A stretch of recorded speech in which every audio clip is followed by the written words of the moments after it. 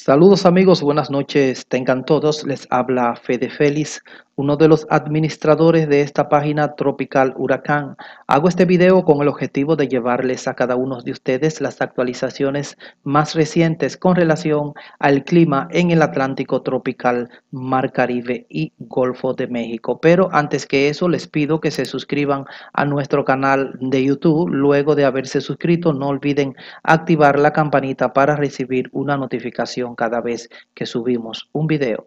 Como usted puede ver actualmente en pantalla tenemos una imagen satelital donde se puede observar claramente el sistema de baja presión, el cual ha aportado bastante humedad hacia las costas de Colombia, Panamá, Costa Rica y el sur de Nicaragua. Este sistema de baja presión lleva ya varios días estacionario en esta área. Actualmente vemos aquí una imagen satelital en movimiento y podemos observar la gran convección que tiene este sistema. Como habíamos dicho, el modelo americano pues ha pronosticado o pronosticó que eh, desde los días pasados que en esta área debió formarse un sistema de baja presión y así ha ocurrido. Anteriormente este modelo estuvo pronosticando que de esta zona pudo haber surgido un ciclón tropical el cual pues se iba a mover en toda esta área pero afortunadamente este pronóstico no se cumplió pero sí se ha cumplido en que se ha desarrollado una gran zona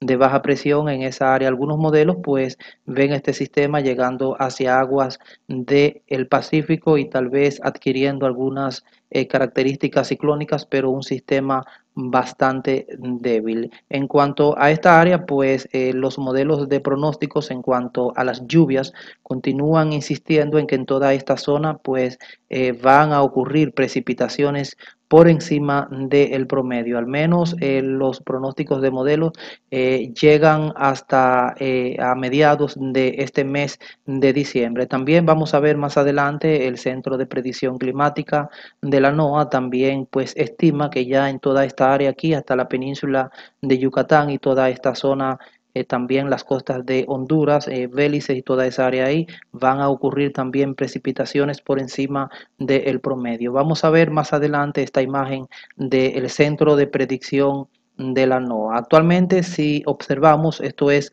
un sistema frontal, el cual se encuentra en toda esta zona y ha aportado bastante humedad hacia los territorios de Cuba, también la República Dominicana, Jamaica y demás islas de toda esta área. También a los residentes del Golfo de México, tanto a los de Estados Unidos como a los de México, también este sistema eh, de baja presión o este sistema frontal ha aportado bastante humedad en todos esos territorios, además también de ráfagas de vientos y temperaturas agradables y algunas precipitaciones en todas esas áreas. De igual manera, en lo que es la península de Yucatán y el área de Bélice, El Salvador y Guatemala, toda esa zona, pues han estado sintiendo temperaturas agradables productos de este sistema frontal. Actualmente el sistema se encuentra en esta área y como usted ve, pues su campo nuboso avanza hacia lo que son las islas de la Española y más adelante sobre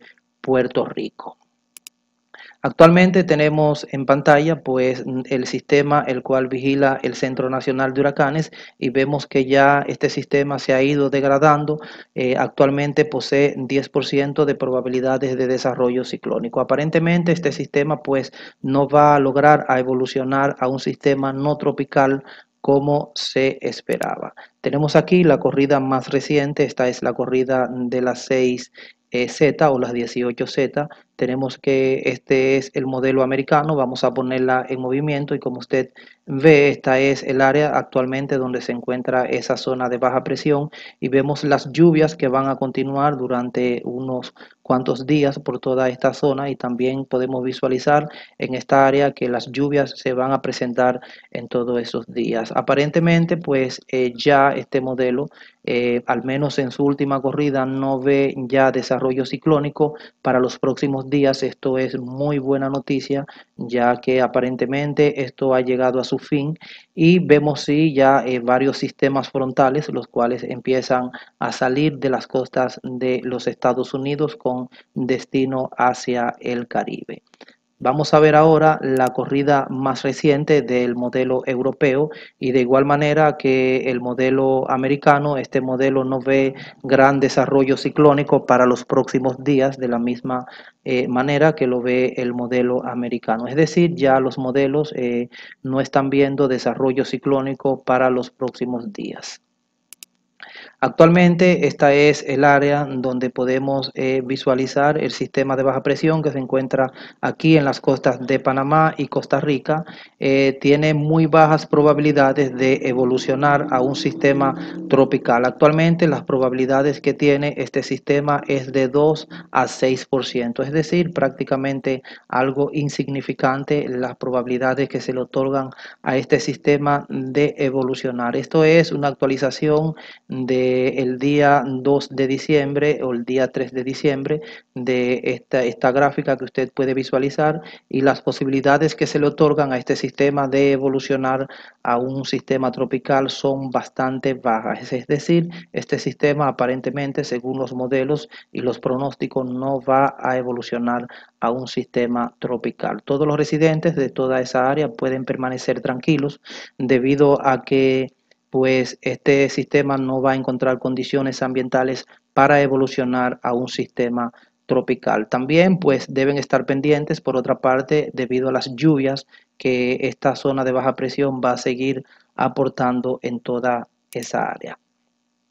Este es el eje pues del sistema frontal y como usted ve se encuentra ya sobre eh, la isla de Cuba y también sobre el eh, territorio de Honduras a medida que el sistema se vaya desplazando sobre la República Dominicana, como habíamos dicho, y demás islas, Puerto Rico, Jamaica, eh, se van a sentir los efectos de este sistema, temperaturas agradables, algunas ráfagas de vientos y humedad debido eh, al campo nuboso que acompaña este sistema.